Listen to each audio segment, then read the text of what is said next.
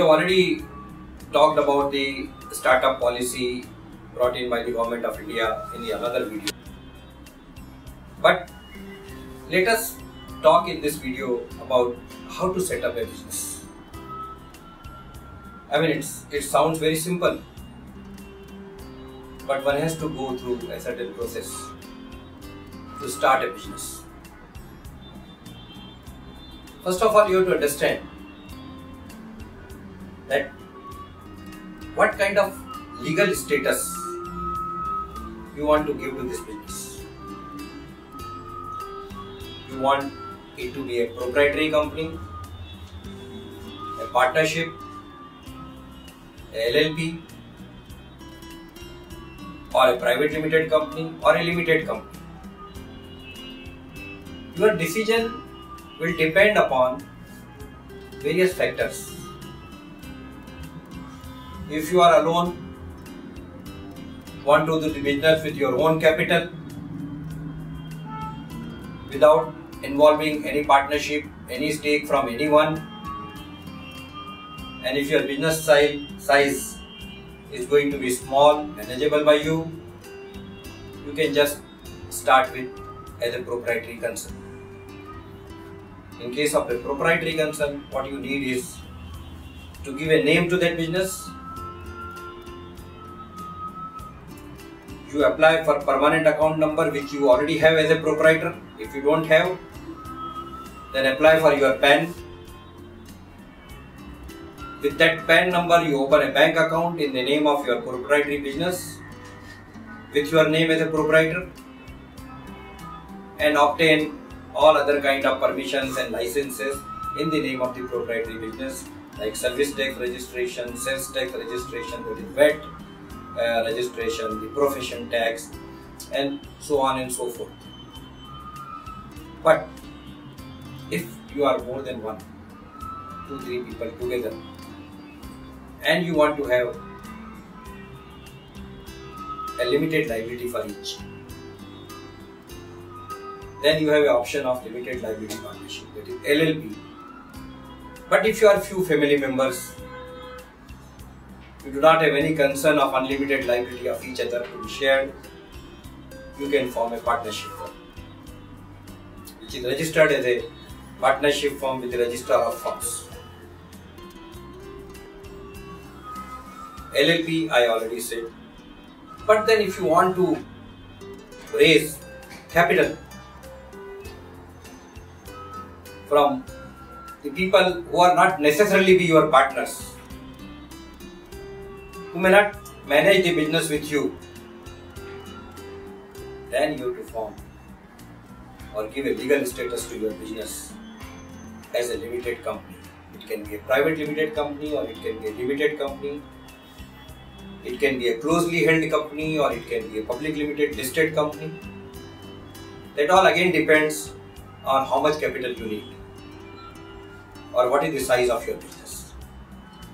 So after having decided that okay, you want to form a company, say a private limited company, then in that case you have to first decide the name of that company. Or rather have two three alternate names.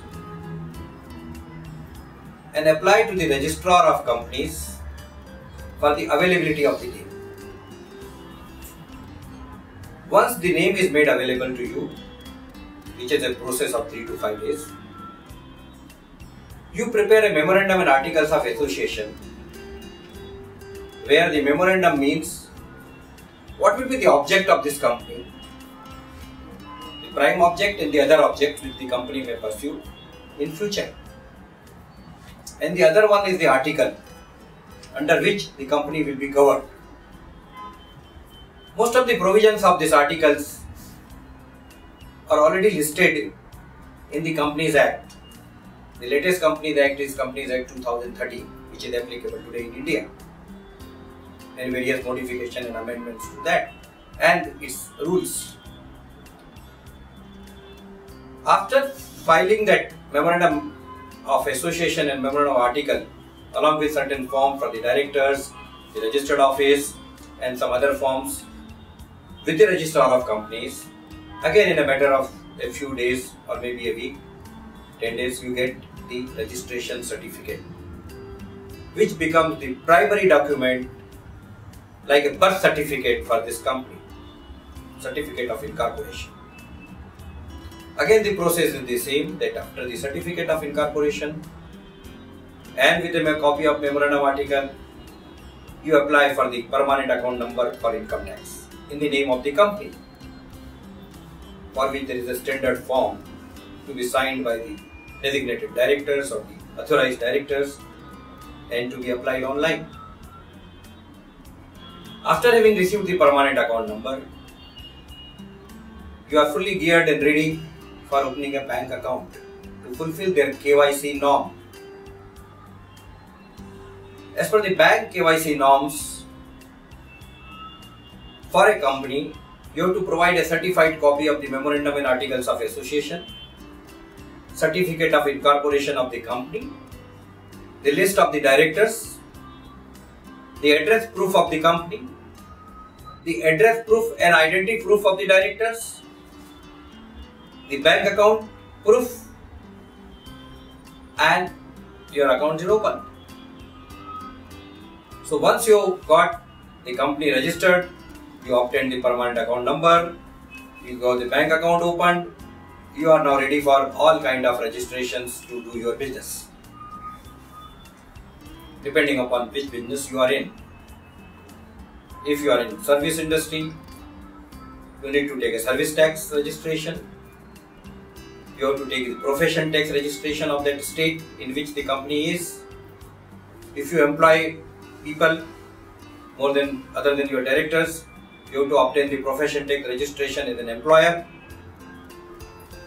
if you have some services in which you will be buying and selling the goods you will have to obtain the VAT, the central uh, sales tax central VAT and state VAT.